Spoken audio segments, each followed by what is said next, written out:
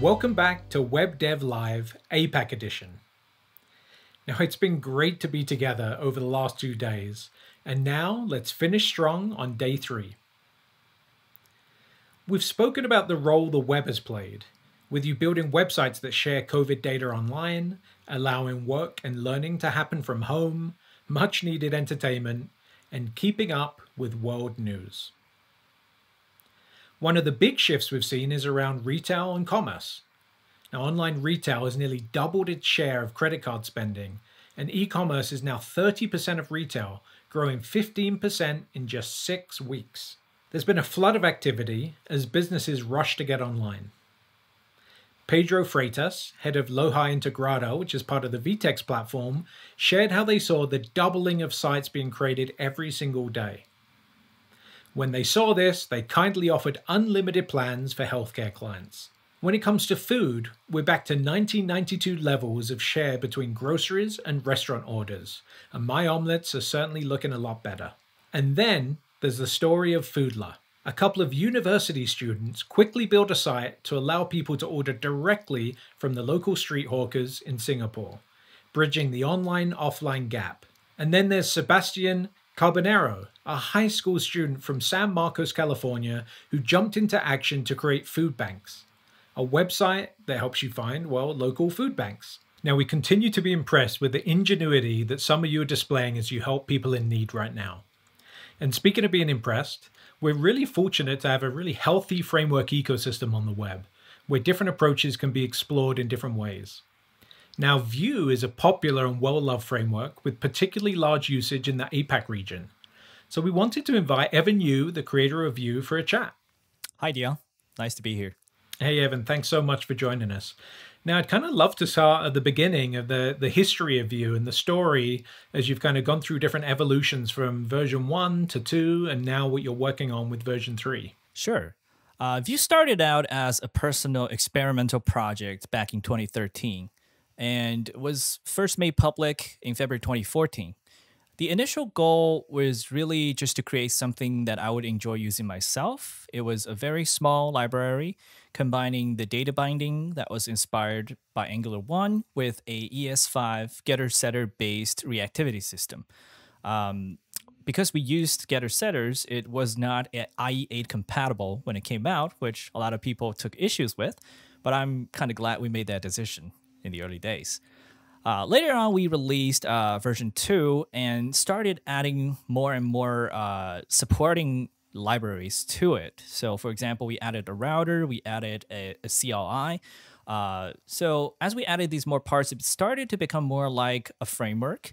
Um, but we still kind of loosely uh, loosely follow the the concept that uh, it should be incrementally adoptable. So it's not as uh, monolithic uh, as some other solutions, um, but also it's not no longer just a single library that does only one thing.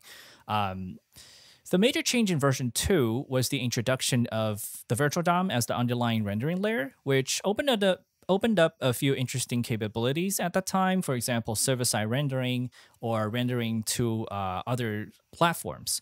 Uh, right now, we are hard at work in finishing up version 3, which is a major rewrite, and it brings up a lot of uh, new interesting features and changes. Uh, there are so many things, uh, so I'll just mention a few highlights here. Uh, we added the composition API, which exposes the lower level reactivity APIs inside Vue uh, for uh, advanced logic composition and reuse in large applications. Uh, we rewrote the reactivity system using ES2015 proxies, uh, which greatly improved performance. Um, the the rendering layer rewrite also has seen great uh, performance improvements. The bundler um, the, the the library itself is now fully tree shaking compatible, so you will see smaller bundles. Uh, we added first class TypeScript support more modular internal architecture for better maintenance and tooling integration. Uh, so there's a lot more uh, we, we are we're shipping in Vue 3. Uh, we're still hard at work in uh, ironing out some of the rough edges, but it's going to be ready very soon. Got it. That's great. So you've been working on the web for, for quite a while, with uh, you know 2013 being the birth of Vue, and obviously you worked on the web before then.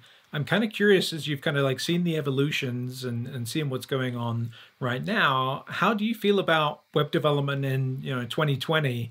Like, what are the most pressing issues? What are you focusing on? Like, what are the problems that you see that web developers have, and, and how do you feel like you and Vue can help there? Uh, sure. Uh, I think the the ecosystem right now is at a transition period where we are seeing a lot of these um, new language standards features, new platform capabilities are being finally stable and consistent and shipped in all these uh, evergreen browsers. So uh, all these mainstream browsers in their latest version now have a very consistent support for these latest features. Um, and IE11 is finally on the way of phasing out. So that sort of presents an opportunity for uh, for new stacks or new tooling uh, to to break free of, of the shackles of these legacy problems and sort of rethink how we can um, best take advantage of these new features that's now we can finally uh, use for uh, the large majority of our users.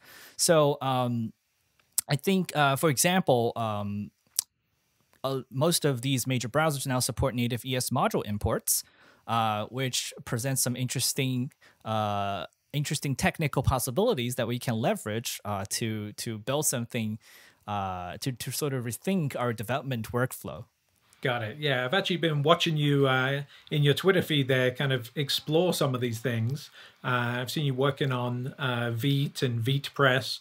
I was wondering if you could uh, explain a little bit more on on uh, what these uh, what these are doing. Sure. Uh, Vite is a is a work.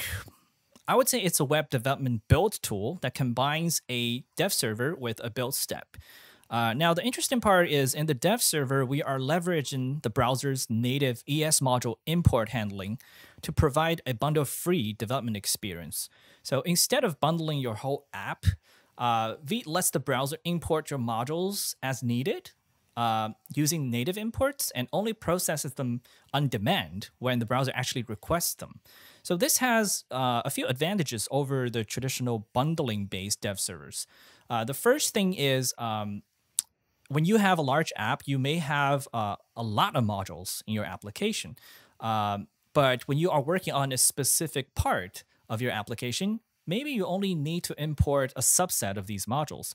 So on-demand import compilation uh, using Vite's approach allows you to only compile the necessary part for uh, modules for the part that you're actually working on. So this results in much faster uh, server startup time in large applications. The second part is uh, Vite also supports hot module replacement on top of native ES module imports. Now, uh, with native ES module imports, uh, because we don't have to do the whole bundling uh, scope crawling uh, when we're handling hot module replacement, uh, the implementation is actually much simpler and much more efficient. So it will stay blazing fast even even as your app grows. So um, which keeps the the development feedback loop fast, no matter how big your app is. so I, I, I believe this really presents a um, an interesting option because development experience is so close to the old days where we first got into web development, where you just have an index.html page and you import some scripts and you just get things going. Uh, tries to sort of simplify the whole uh, development setup um, and and just uh, present a development experience as close to the the original vanilla web development experience as possible, but without giving up all the modern uh, new tooling capabilities that we are used to. So. Uh, it's an it's still an interest uh, kind of experimental at this stage, but uh, we're getting a lot of fee- good feedback from users already. Got it. That's that's really exciting. I love this kind of new trend towards you know dev time, not having to deal with bundling uh, and the like. In production, we can still obviously do a lot of that, push out all of the optimizations we can. Obviously, everything we can do to users makes sense. Um, so that's Vite. What about VitePress? What, how does that tie into this? Oh yeah. Um, so for if you don't know VitePress, uh, so VitePress is a remake of VuePress, and VuePress is a static site generator built on top of Vue, which allows you to uh, write Markdown, use Vue components in your Markdown, and write uh, custom themes using Vue as a Vue application. Now, um, VuePress was based on Webpack. So VitePress is essentially a remake of VuePress, but using Vite as the underlying development, uh, as the underlying build tool. Um, and we took the opportunity to bake in. Uh, so, so first of all, that provides obviously a much faster uh, development experience, uh, faster server startup, faster uh, updates when you edit a page. Uh, another aspect of it is we're baking a lot of performance best practices into VitePress.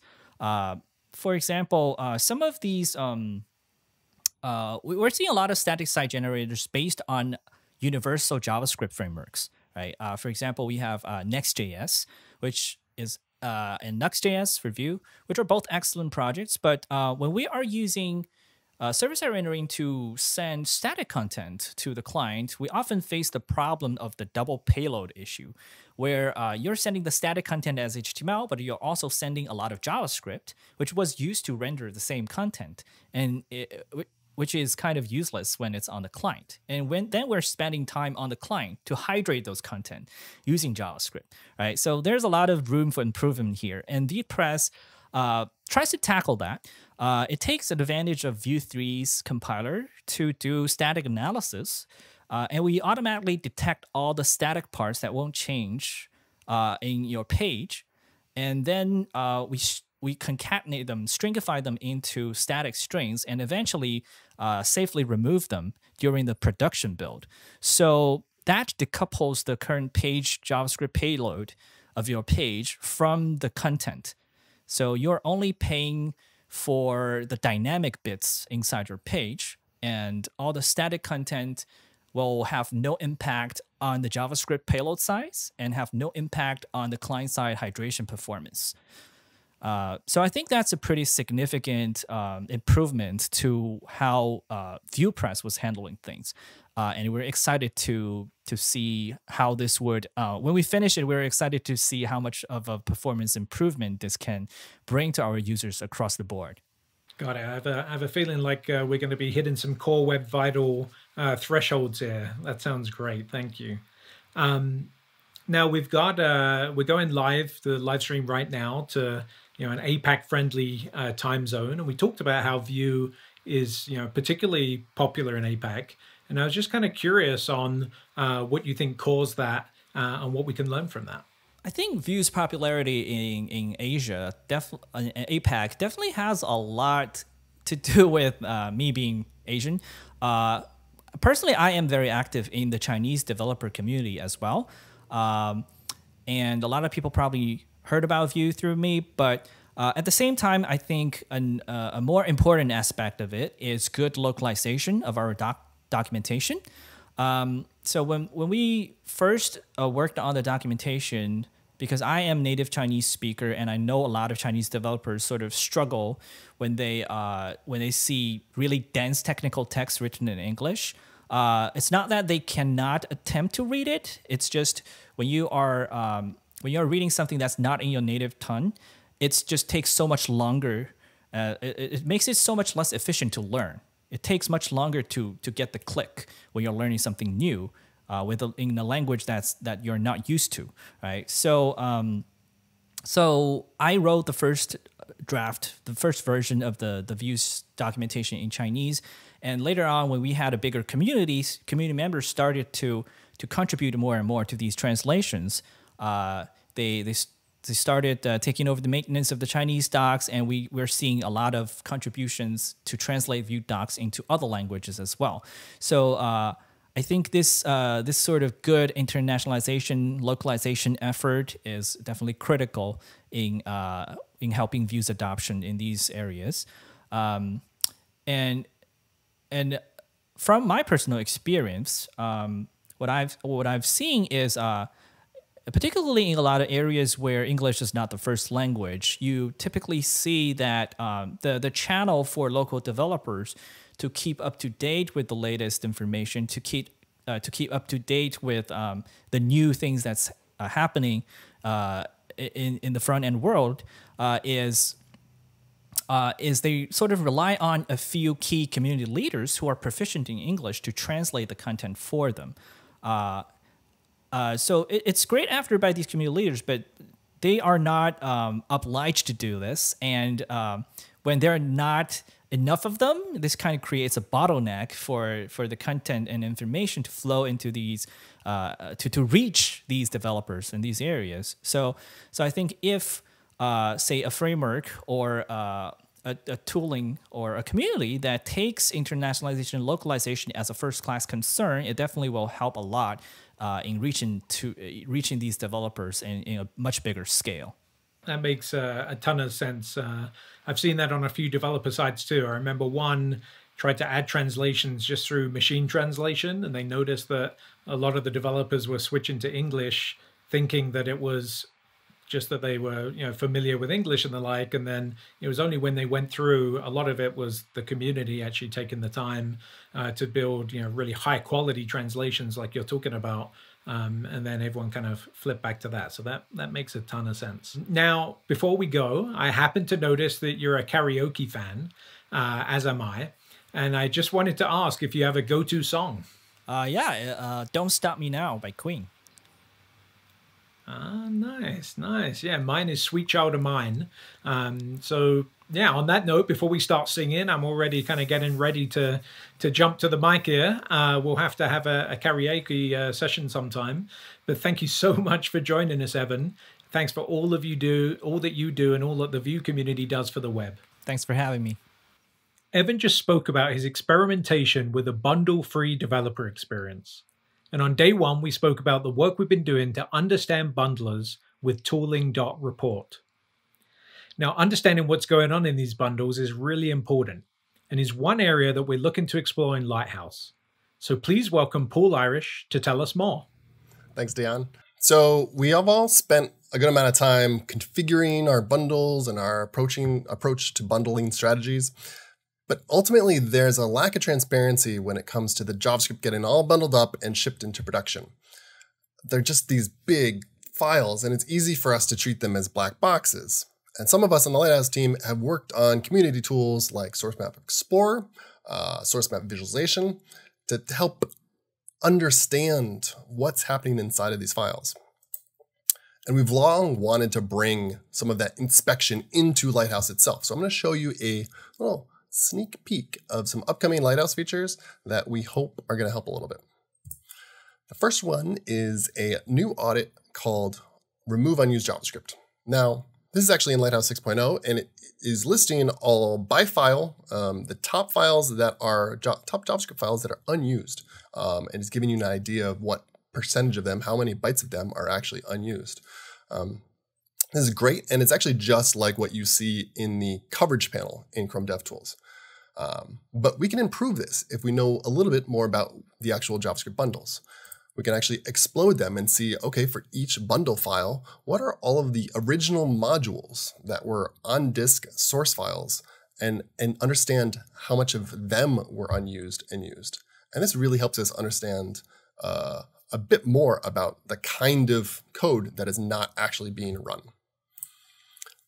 Another new audit that we're introducing is one that identifies duplicate modules across JavaScript bundles. So in this case, you actually see that Lodash is in two separate JavaScript bundles. But we are really happy that this helps you see exactly um, cases where you probably could reconsider your chunking strategy to make for a little, something a little bit more optimized. Another new audit is called Legacy JavaScript. What we're doing here is we're trying to find all the cases where you're shipping JavaScript to production and specifically to modern browsers where you're including things like polyfills and you're compiling down to uh, a level where the modern browsers don't really need that. Modern browsers understand a lot of modern JavaScript, and so we want to make sure that you're not overcompiling.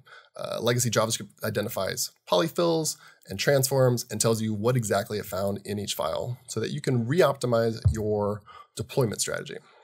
Got it. And is this all powered by source maps? Yeah, yeah, exactly. Source maps are are super useful and they enable this really powerful analysis. And actually, if I can, um, we're working on a interactive UI for exploring this stuff in more detail. And so I want to show this. These are early mocks, but we wanted to provide that kind of rich interactive tree map experience um, inside the tool as well. Uh, so this might this UI might look a little familiar to you if you if you've used some of these tools before, um, but giving you a view of across all your JavaScript files, and if there's a bundle, and if we can understand what's inside of it, we'll show it, and you can explore that in more detail. Uh, we're really excited to uh, provide a bunch more information around here and augment it with data around code coverage um, so that you can see exactly what's happening, uh, a table view to help prioritize all of the, the major things that you should be paying attention to um, and let you explore it in detail so you can really find out what's happening and what you could change. So again, it's early. This will all change quite a bit, but we're really excited about bringing this experience to you. Uh, it's all coming soon to a lighthouse near you. Got it. I'm always uh, always love kind of opening up some of the old bundles and seeing all of the uh, mistakes I've made in the past. I'm excited to play around with this. Um, now, a few weeks ago, we also shipped Lighthouse 6. Um, and I believe that's the version where we now have started to include Core Web Vitals. Is that right? Yeah, that's right. All right. So, Core Web Vitals, we got these three metrics first contentful paint, first input delay, and cumulative layout shift. Though it's worth pointing out that FID, first input delay, is a field metric. Um, and since Lighthouse is a lab tool, uh, in its place, we have another metric, TBT, total blocking time. We like to think of this as FID's lab companion. Uh, so they're not measuring exactly the same thing, but they're all about interactivity. They're all about long tasks on the main thread and heavily influenced by them. So uh, it really works well. So in Lighthouse 6, you'll see these three metrics up top. Uh, and if you're looking at it, and your report looks like this one, um, then you're like, wow, okay, well, these metrics are they're they're not great. It looks like I could make some improvements here. All right, but what's the next step? We've added some new audits to help point you in the right direction. So I'll just go right through them right now. Uh, first one I'll show is this, uh, avoiding long main thread tasks. Uh, so here we're just listing the longest tasks on the main thread that you have, how long they took, and what URL we can attribute them to. Um, and then two more. We have the largest contentful paint element. Um, the metric itself is telling you at what time that paint happened, but that paint was associated with a particular DOM element, and here this will just tell you. And similarly, for cumulative layout shift, you want to know what the actual shifts were. Well, these were the DOM elements that shifted, um, and these ones contributed most to your total CLS value. Um, so uh, you could just read this, uh, and so like you'll see this content container. Okay, yeah, I know what that is. But then if you're looking at this these other two items, and you're like, okay, but which actual DOM element is this? If you run Lighthouse through DevTools, we actually have a nice little surprise for you. So there, we kind of upgrade these element references. So if you hover over them, we'll actually just uh, apply that element inspection hover tooltip that you normally get in DevTools. And if you click through, you'll see it in the DOM tree elements panel. So nice kind of integration to help you understand exactly what thing you're looking at. Anyways, this is just a small slice of the new stuff in 6.0. Uh, please, everyone check out our blog post for all the rest of the fun stuff. Got it. I'm always a sucker for these audits. It's great to be able to kind of just go from the metrics themselves and the scores and like really go deeper yeah, to understand right. what's affecting them. Thanks so much, Paul. I love how we're making sure to open up as much data as we can with the Chrome User Experience Report. And I keep seeing great mashups and analysis from the community, such as the Onely map, which lets you kind of zoom around the world and kind of explore the performance characteristics for different device types and obviously different locations. Now, Lighthouse is a great tool to help you audit your web apps, and it helps you not only with just performance, of course, but really across the board. And we want you to be free to create the highest quality web apps that give you the biggest reach to users across whatever device they're using. Now, to hear more about the latest in PWAs and advanced capabilities, let's welcome Pete LePage. Awesome. Thanks, Dion. We believe that you should be able to build and deliver any kind of app on the web. Web apps should be able to deliver the same kinds of experiences with the same capabilities as native apps. Combining the installability and reliability of progressive web apps with our capabilities project, we're working to close the gap and help you build and deliver great experiences. To do that, we've been focusing on three things. First, we've been working hard to give you and users more control over the install experience, removing the mini info bar, adding an install promotion to the Omnibox, and more. But one of my favorite things about the web is how ubiquitous it is. We know that for some businesses, it's really important to have your app in the store. At Chrome Dev Summit, we previewed a library and CLI called Bubblewrap, then called Llama Pack. It makes it trivial to get your PWA into the Play Store. In fact, PWABuilder.com now uses Bubblewrap under the hood. In just a few mouse clicks, I can generate an APK that I can upload to the Play Store. Second, we're providing tighter integration with the operating system, like the ability to share a photo, song, or whatever else by invoking the system level share service. Or the other way around, being able to receive content when shared from other installed apps. You can keep users up to date or subtly notify them of new activity with app badging and make it easy for users to quickly start an action using app shortcuts, which will land in Chrome 84. And finally, we're working to enable new capabilities that enable new scenarios that weren't possible before, like editors that read and write files on the user's local file system, or getting a list of locally installed fonts so that users can use them in their design. Of course, there's plenty more, so stay tuned. But I hear, Dion, you've been playing with the TikTok PWA. That's right. Actually, it's my 10 year old son, Josh, who started to create some really fun TikTok content, even though he was you know, pretty restricted these days to, to the house and the pets and the like. Um, and he kept bugging me to, to, to join in and, and play myself.